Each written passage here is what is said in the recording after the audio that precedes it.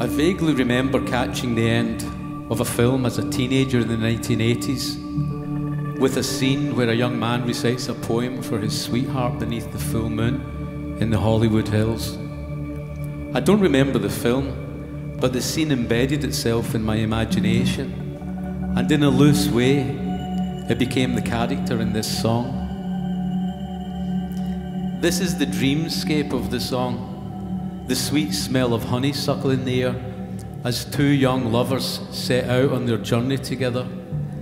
This is the unconscious imaginative world where it waited for a technical moment of release.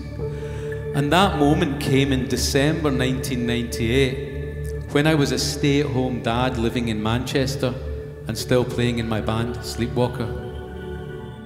I'll be with you there moonlight. I'll be with